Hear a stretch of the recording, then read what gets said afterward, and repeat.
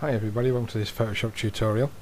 Today we're going to be looking at doing a dispersion effect. This isn't something I would normally do, um, but I have had people ask for it, so um, I do try to make videos and include tutorials that people want to watch, not just what I happen to want to do. Um, so I've got this picture here, which I shot on white seamless, which is ideal for this type of thing. You want something you can cut out easily. Um, and I've took the liberty of making a cutout prior to starting the video so things are nice and easy. So once you've got your cutout incidentally I've made this with a quick selection tool and used the refine edge just to get some of the hair details and stuff in there. And I've used the dematting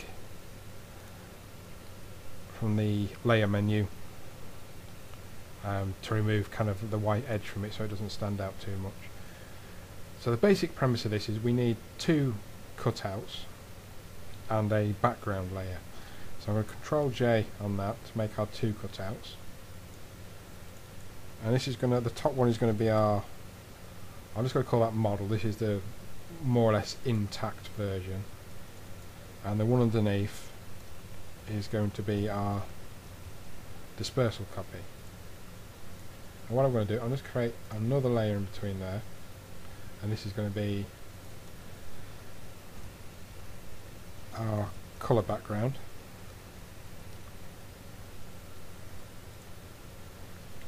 Right, so the first thing we're going to do is we're going to go to our model layer. We're going to add a layer mask. On this layer mask we want to keep it white. We're going to take a foreground colour of black, a brush tool, and what we're looking to do is we're going to get one of the splatter brushes. Um, I would just pick one. This one here looks good. Um, that's pretty random in its appearance. I'm going to increase the size that a little bit. I don't increase it too much.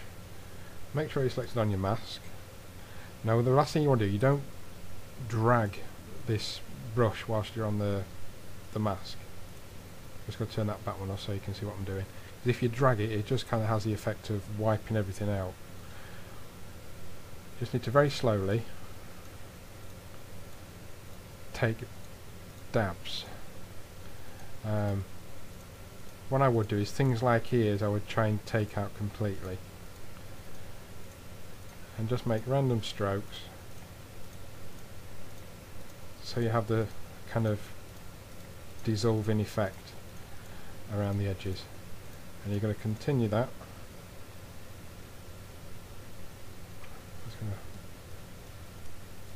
Go back a little bit. I think I got a bit too much on some parts. I don't worry about getting this um, too different because we're only doing the edge so we don't want it to be too kind of stand out and obvious that it's too different. You only want a very small effect for this particular layer. When we come to do the actual dispersal we'll want to vary it quite a bit.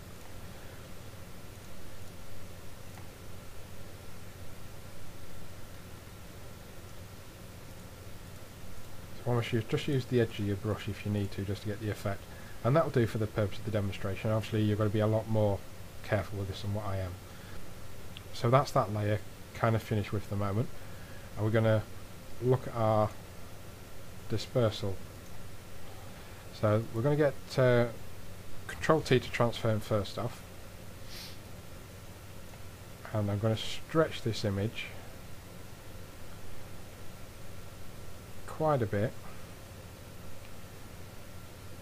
and what I'm looking at is obviously this as this disperses you want it to be similarly coloured in its pixels so I don't want kind of too many pink pixels before the brown pixels because it'll look a bit peculiar um, so you just have to be a little bit mindful of uh, of that kind of thing. I'm going to move it up a little bit as well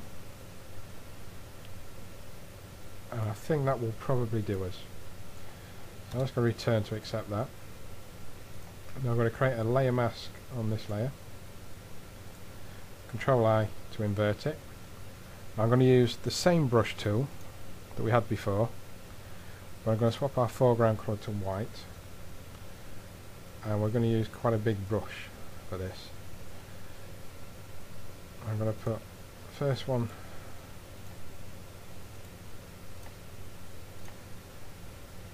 come down a little bit as it gets a bit closer.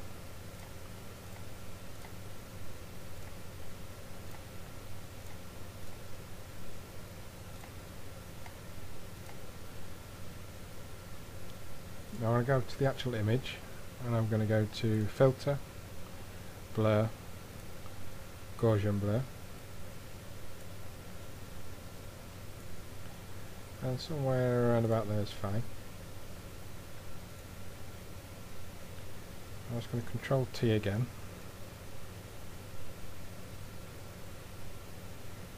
Stretch that out a bit more.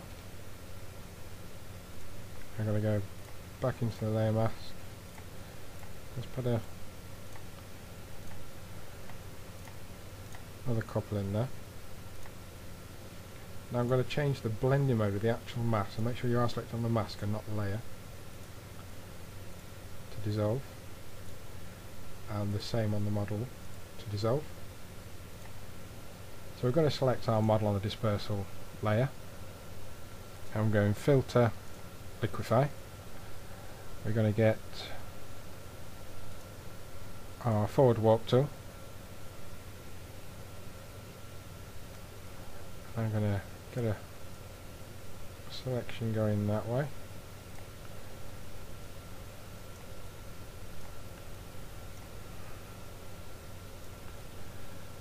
That's another one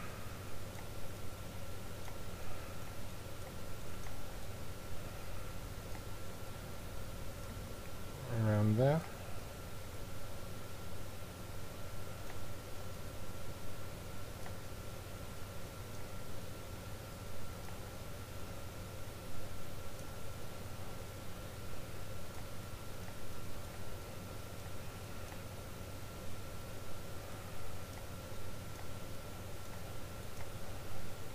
Now I'll get the twirl tool.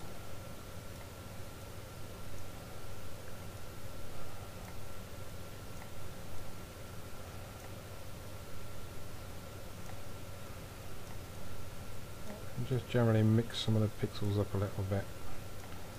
If you press on this, uh, what if you press on the twirl tool, if you press and hold the mouse button down, it will just turn the pixels directly underneath it very slowly but if you add movement to it as well it kind of mixes them up a little bit.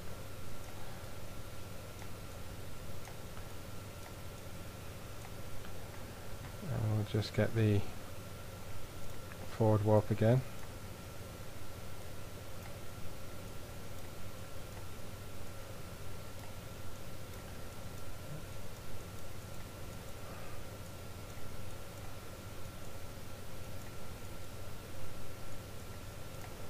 I think that'll do it for now, so just click OK. This will take a while because I didn't actually reduce the size of this file before I uh, started this. I probably should have done it, it made it a little bit quicker for you.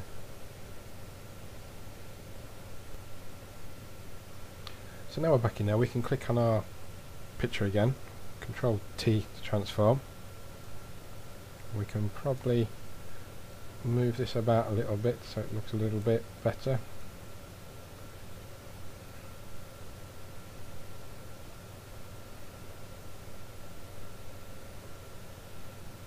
Now what we're going to do is we go to this uh, background layer that's currently black. And we're going to fill this with a colour that's more in keeping with the picture. Um, this nice pink colour. So I'm going to go to edit fill. Foreground colour and I'm going to create another layer. And I'm just going to put the new layer underneath the coloured background. And I'm going to take the graduation tool make sure it's on linear. And I'm going to select black to white. I want the black down this side. I want it completely white at this corner. So I'm going to drag from here. I'm going to end around about there which basically means in front of that section will be completely white and now I'm going to go to the pink reduce that opacity down